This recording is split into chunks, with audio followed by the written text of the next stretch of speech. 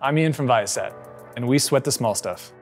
Because the big stuff, the technological breakthroughs, accomplishments, and milestones, it's really just a bunch of small stuff done exceptionally well. Take the design of the hardware that goes on your aircraft. Not only does Viasat design and build the satellites, but we design and build the terminal LRUs, the line replaceable units that go into your business jet and make Wi-Fi connectivity possible anywhere in the world and we design them so that none of them have to be housed in the baggage compartment or anywhere else in the pressure vessel.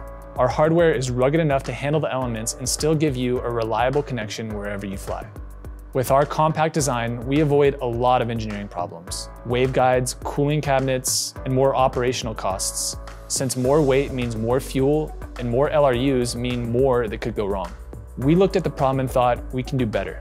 To do it, we not only had to engineer the LRUs to be able to withstand the elements, the extreme temperatures at 45,000 feet, the jet fuel, de-icing fluid, and intense vibrations you might find outside the cabin, we also needed to make the Viasat solution smaller, shrinking the whole system down to just three components. And that's true whether it's our KA band or our KU advanced system.